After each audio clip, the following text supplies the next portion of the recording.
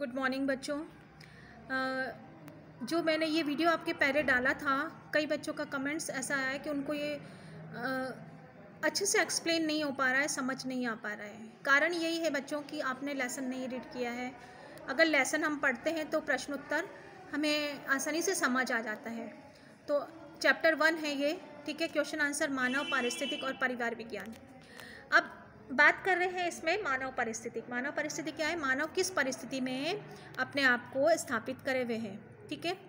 और परिवार विज्ञान, परिवार जहाँ पे हम परिवार को लेके बैठे हुए हैं, परिवार किस, परिवार में क्या क्या चीज़ उसमें शामिल है, उसके अंतर्गत हम बात करेंगे। ठीक है? अब प्रश्न बन रहा है इसमें मानव पारिस्थितिक और परिवार विज्ञान को समझना। मैंने आपको मानव परिस्थिति के बारे में बताया। परिवार विज्ञान क्या होता है उसके बारे में। देखिए, मानव पारिस्थितिक, मानव परिस्थिति क्या है? मानव पारिस्थितिक एक ऐसी विज्ञान है जिसके माध्यम से मानव के पर्यावरण के साथ संबंध का अध्ययन किया जाता है। अब क्या बात आ रही है इसमें कि मानव परिस्थिति ऐसा विज्ञान है जिसके अंदर क्या बात की जाती है? मानव के और पर्यावरण के बीच आपस में जो संबंध है उसके बारे में अध्ययन किया जाता है। आ गया समझ में? पारिस्थिति के अंतर्गत भौतिक, आर्थिक और मनोवैज्ञानिक तत्वों का अध्ययन किया जाता है। जैसे कि परिस्थिति, अब यह क्या क्या कौन कौन सी परिस्थिति से व्यक्ति गुजरता है? भौतिक परिस्थिति, भौतिक क्या होती है जो हमें दिखाई देता है? आर्थिक क्या होती है? जो भी आर्थिक क्रियाएँ हम संपन्न करते हैं बहुत, है ना? पैसे कमाना, धन धन धनार्जन करना, सामाजिक क्रियाएँ जो समाज से हमारे जो संबंध बनते हैं वो क्रियाएँ। मनोवैज्ञानिक जिस चीज़ को हम समझते हैं, महसूस करते हैं ठीक है? भावनात्मक इसमें आ जाते हैं, तत्वों को अध्ययन किया जाता है। इन सभी का सक्रिय संबंध बच्चों, विच, किशोरों और वयस्कों के साथ होता है। ठीक है? अब हमारा संबंध किस किस से है? बच्चे के साथ भी है, किशोरों के है वयस्कों के, सबके साथ है। ठीक है? तो क्या बात हुई? मानव परिस्थिति का मतलब हुआ है, परिवार के मानव परिस्थिति में कौन कौन सी चीज़ शामिल होती है? जो भी हमारे आसपास होती है, भौतिक, सामाजिक, सब तरह की क्रियाएँ। अब है मानव परिस्थिति का अर्थ में क्या लेंगे हम? पारिस्थिति की व्याख्या दो तरह से की जाती है, ठीक है?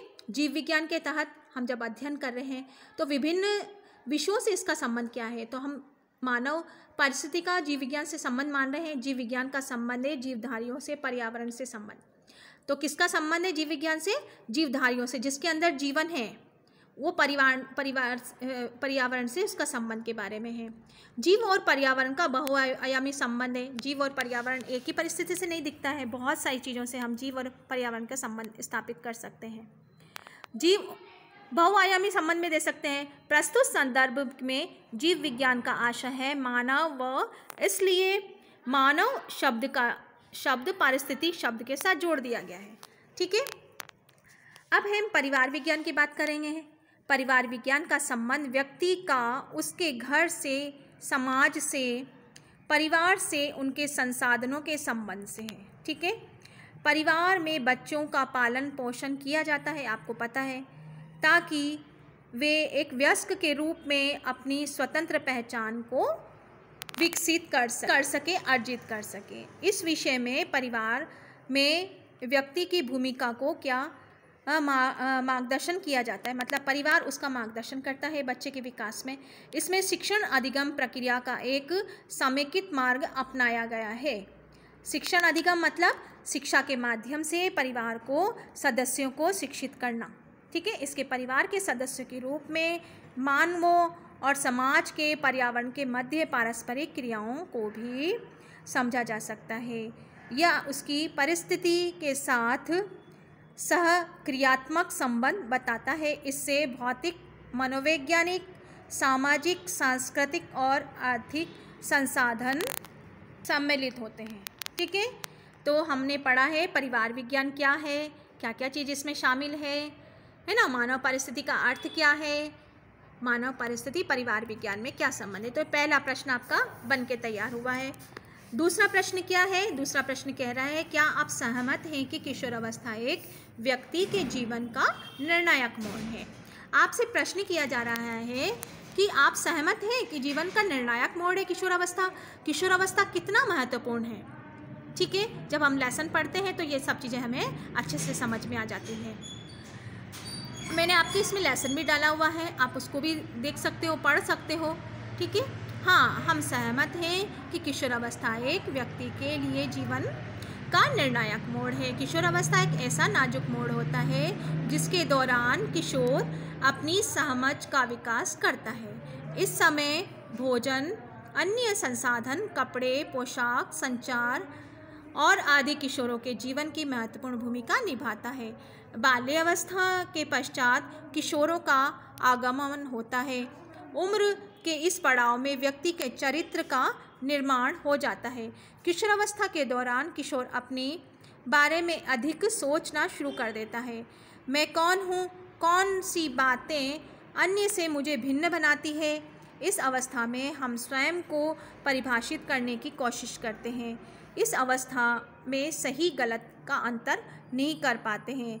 इस समय सकारात्मक सहयोग की आवश्यकता होती है। अब प्रश्न में बच्चों, ये चीज़ आ रही है कि जो किशोर अवस्था होती है, वो बहुत ही निर्णायक मोड़ होता है, समझ का मोड़ होता है।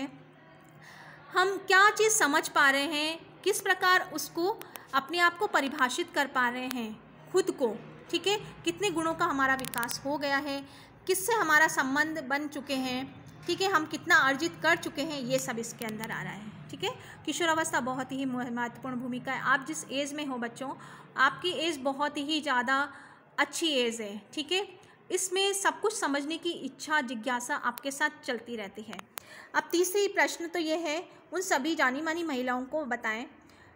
सरोजनी नायडू, राजकुमारी अमृत कौर, कमला देवी चट्टोपाध्याय, लेडी अरविंद कौर, ठीक है?